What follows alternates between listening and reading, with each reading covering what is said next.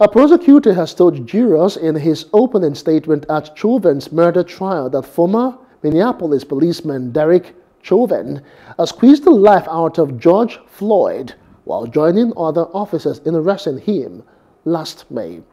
Jerry Blackwell, was the Minnesota Attorney General's office, told jurors that officers who wear the Minneapolis police badge pledge never to use unnecessary force or violence it displayed a still image from a bystander's cell phone video of Chauvin, who is white, with his knee and the knee of Floyd, a 46-year-old black man in handcuffs, saying it showed Chauvin grinding and crushing him until the very breath.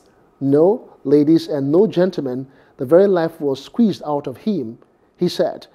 Floyd's death ignited a global protest movement over police brutality against black people.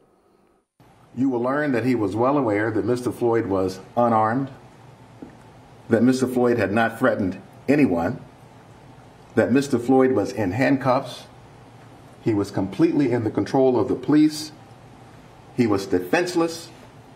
You will learn what happened in that 9 minutes and 29 seconds. The most important numbers you will hear in this trial are 9 to 9 what happened in those 9 minutes and 29 seconds when Mr. Derek Chauvin was applying this excessive force to the body of Mr. George Floyd.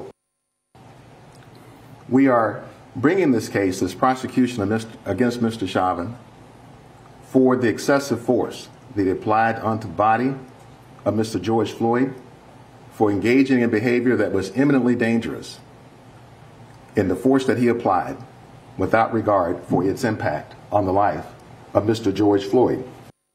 Hope you enjoyed the news. Please do subscribe to our YouTube channel and don't forget to hit the notification button so you get notified about fresh news updates.